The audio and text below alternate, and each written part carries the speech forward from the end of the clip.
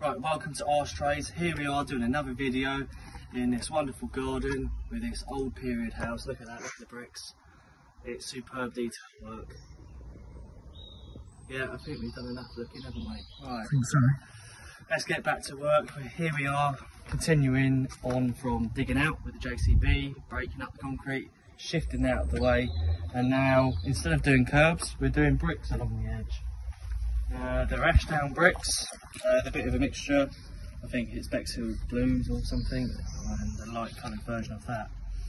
Um, it roughly matches in with the house along the wall, bits of blue, bits of red. So we're looking for something quite rustic on the floor. Um, so it would be quite a nice contrast with the concrete, hopefully. Um, so I'm going to show you today how to lay these bricks to make a curb, as you can see.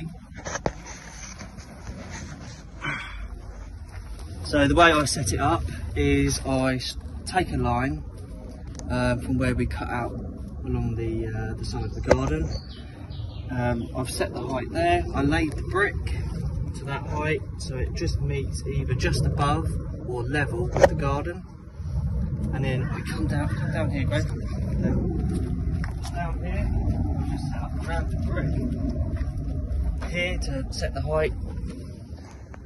And that also meets flush with the garden as well. And then I've wrapped the line around this lovely flower pin thing we have. Very technical brick pin. Yep. And then I place the brick on top and the line sits like that. Yeah. And then I'll literally run my run my bed out of four to one mix, sand and cement, and then lay my bricks. Right. I'll just show you now.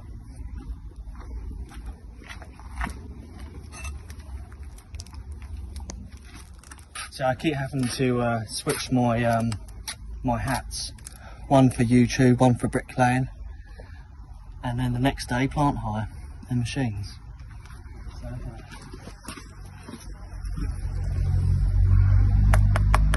Just be careful and take your time like that. Get it to the line, look at the ground height as you lay it.